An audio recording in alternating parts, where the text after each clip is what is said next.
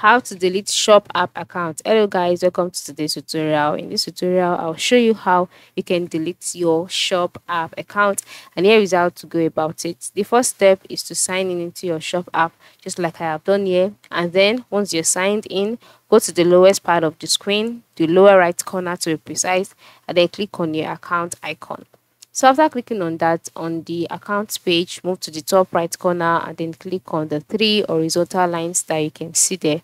After clicking on that, um, in the menu displayed, just go ahead and click on settings.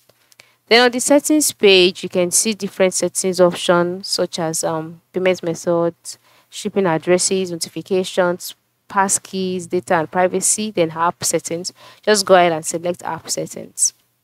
So after selecting app settings, you go to the app settings page. On this page, you will see safety settings, confetti, automatic dark mode, delete account. Just go ahead and click on delete account. And then you'll be brought to the delete your shop account page. And then you can see the write-up which says when you delete your account, shop will delete your email, phone number, etc. And then if you still want to delete your account, just go ahead and click on delete account. And then just like that, your account would be deleted. So this is how you can delete your account on the shop application. Thanks for watching and have a good day.